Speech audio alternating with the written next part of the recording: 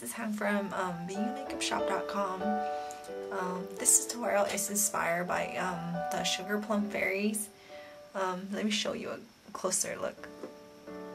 It's just mostly pink, uh, a couple shades of pink blending together, almost like a cut crease, and with the lids having some silver sparkles for Christmas. Um, uh, this uh, on the 18th, I'm going to take my mom to see the Nutcracker in our hometown, the ballet. Um, I remember when I saw in 5th grade, it was the most amazing thing ever because there were so many colors, it was such a happy story, and, and it was just, it was the Christmas spirit and that's what I love the most. I'm such a kid when it comes to Christmas. I mean, I love to watch, you know, Mickey Mouse Christmas version, Beauty and the Beast Christmas version, everything Christmas related. That's, I love Christmas. Uh, even though my family, we don't really celebrate it, but I wish that one day all of my family members can get together to celebrate Christmas. And I really hope you guys will, you know, um, support me in this video because I work really, really hard towards it. I know that the makeup didn't take as long, but it's the preparation for it. You know, I tried to do um, something else before, inspired by Sugar Plums, more with purples and pink. Um, but then when I recorded it, it didn't work out. And then I tried to do greens with, um, you know, the Grinch Stole Christmas. and didn't work out either. And I, for the first time ever today, I feel like I can actually blend colors because I've watched so many YouTube videos and I just can't seem to do what the YouTube gurus do. As most of you guys know, I'm really new to makeup and I'm it's really hard. I've been practicing so much but I just seem, can't seem to be getting better.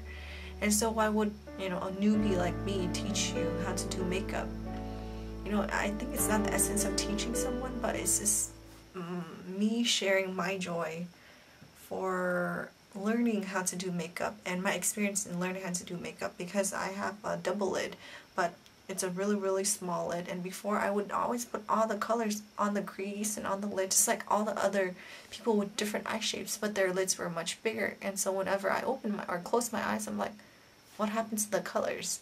And so I've learned to adapt the colors to my eye shape a little bit more, but I'm not getting better yet. I'm slowly like crawling like a snail, just crawling, slowly, slowly getting a little bit better. And then I think that's what I love about makeup is that everyone is different. You just have to try to work what's best for you and it brings out your inner creativity. You know, before I would never wear green or blue or anything in college all I knew were browns but now I can you know get out a little bit more from those um, natural colors and so I hope you enjoy this look it's just a simple look and thank you for all your support apply a primer because a primer will help to bring the colors out more and it'll help for the colors to last longer but it's just that I don't know where my primer is right now so I'm gonna have to do without my Urban Decay primer potion so the first color that we're to choose is this color right here. You can uh, find a similar color, a pink color, or whatever color you like. And so mine will be this light pink color, kind of like fairy tales and candy canes. I mean.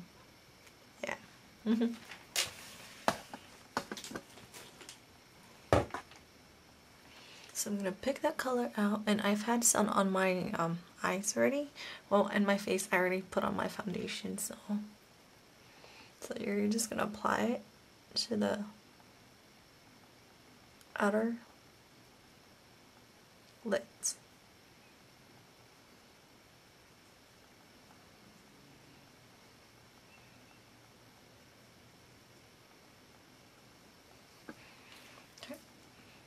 And then you're going to blend it out.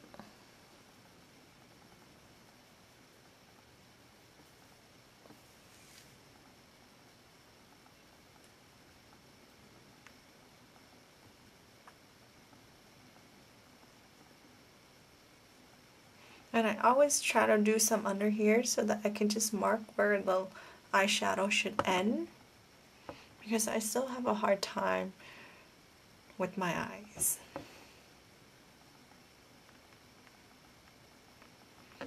And next, you're going to take another lighter pink color. So I'll be taking this And then um, earlier I said it was just mostly this row, but I forgot I added some of this light purple right here too. So this and this, so I'm going to add some pink and then some light purple.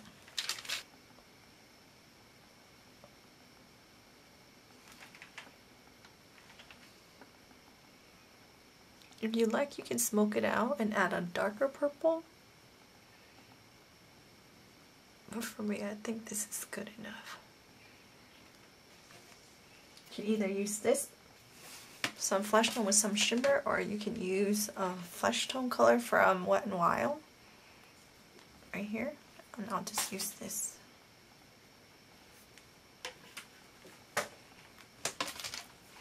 And you're just going to blend out the colors from your crease and just edit whatever you have to.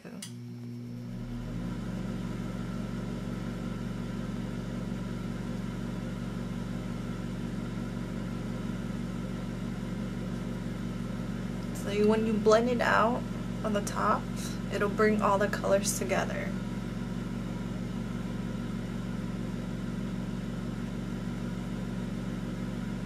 My X. But before we apply that, I forgot, let's add our eyeliner.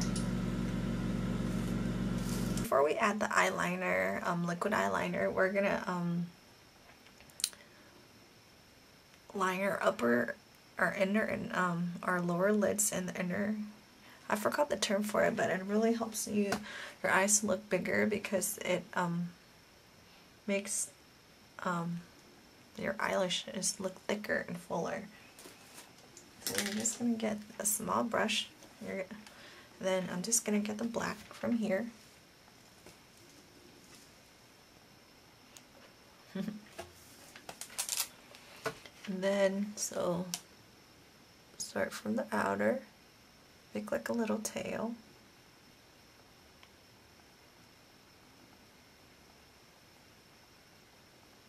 So you can notice that I am not going only on the top of my lid, I'm going to the inner. So if you have a hard time drawing your eyeliner, you can start off with an um, eyeshadow just to kind of give you an outline and then you can trace it over with your um, liquid liner.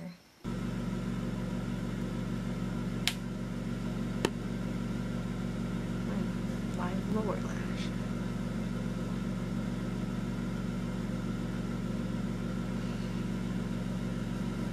And when you line the lower lash, it gives you more dimension to your eyes and thicker lashes. And so um, I have really oily lids, so make sure you apply a potion, a primer potion or something to help the eyes from creasing and getting oily, and, or else you'll have panda eyes like I always used to. Okay, and then I'm going to draw my eyeliner and then I'll be right back. Okay, so I drew my eyeliner and now um, we're gonna add the silver glitter and um, make any changes that we like to make. Of um I don't know or yeah I, I didn't want to put lash glue so I'm just gonna put some lip gloss. Pink. To the lid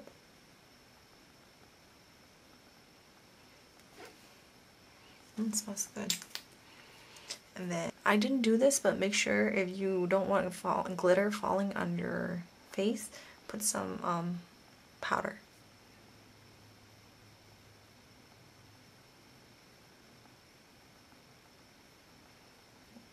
On some right